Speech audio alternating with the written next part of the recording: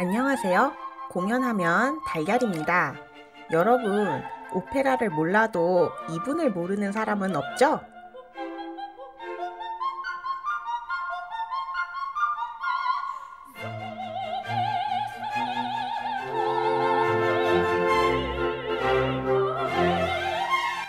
유튜브에서 밤의 여왕 아리아 레전드로 너무나도 유명한 콜로라투라 소프라노, 바로 디아나 담라우입니다.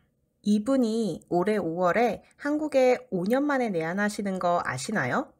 2017년 이후 역대 두 번째 내한인데요. 예매 링크는 아래 고정 댓글 확인해 주세요. 공연 타이틀도 무려 오페라의 왕과 여왕들인데요. 정말 밤의 여왕 아리아에 대한 기대감을 한껏 불어넣는 타이틀이 아닐 수 없습니다. 그런데 안타깝게도 프로그램을 보니 밤의 여왕 아리아는 없었습니다. 팬들의 기대감을 공연 기획사 측에서도 예상을 했는지 공연 설명을 보면 어떤 음악을 연주하든 확실한 것은 그녀의 목소리를 직접 들을 수 있다는 것이라고 하고 있네요. 네, 아쉽지만 맞는 말입니다. 아직 좌석도 많이 남았더라고요. 5년 만에 찾아온 기회를 놓치고 싶지 않으신 분들 이번 기회 꼭 잡으시길 바랄게요. 도움 많이 되셨나요?